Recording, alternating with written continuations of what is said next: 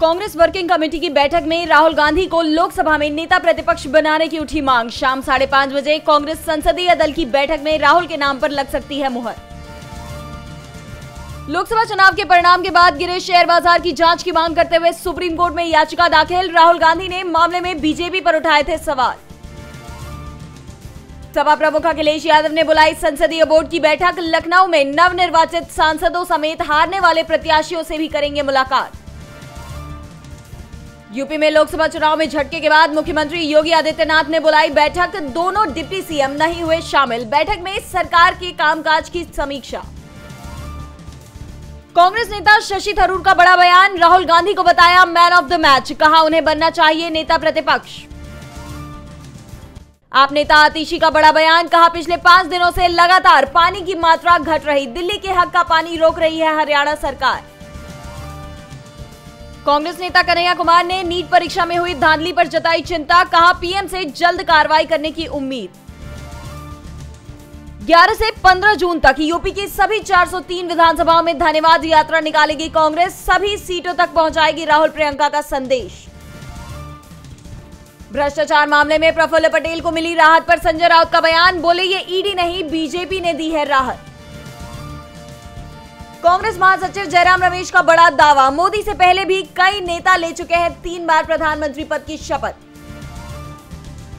UN ने Israel को किया ब्लैकलिस्ट। गाजा में बच्चों पर हो रहे जुल्म को देख लिया फैसला। नेतन्याहू बोले, ऐसा करके यूएन इतिहास में हुआ ब्लैकलिस्ट. भारत के साथ कश्मीर समेत हर मसला बातचीत से सुलझाने को तैयार। पाकिस्तान कहा, भारत से अच्छे रिश्ते चाहते हैं। उनकी बयानबाजी के बावजूद हमने कुछ नहीं कहा। शहबाज शरीफ और चीनी राष्ट्रपति शी जिनपिंग बैठक में सीपीईसी प्रोजेक्ट को बढ़ाने पर हुए सहमत। भारत जता चुका है आपत्ति।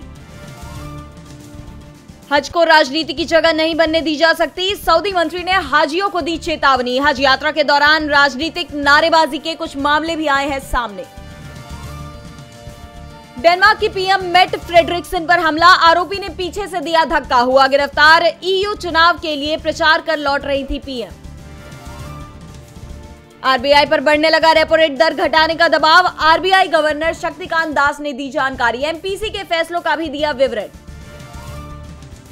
सस्ता होकर 80 डॉलर से भी नीचे आया क्रूड ऑयल। मामूली गिरावट के साथ तेल कंपनियों ने जारी किए डीजल, पेट्रोल के नए rate. T twenty World Cup 2024 में अफ़गानिस्तान ने पहली बार न्यूजीलैंड को हराया। गुरबाज के 80 रन, फारूकी ने पहली गेंद पर लिया विकेट। सोनी लिव पर गुल्लक का चौथा सीज़न हुआ रिलीज़। एक बार फिर दर्शकों को लुभाने के लिए अपने किस्सों के साथ हाजिर है मिश्रा परिवार।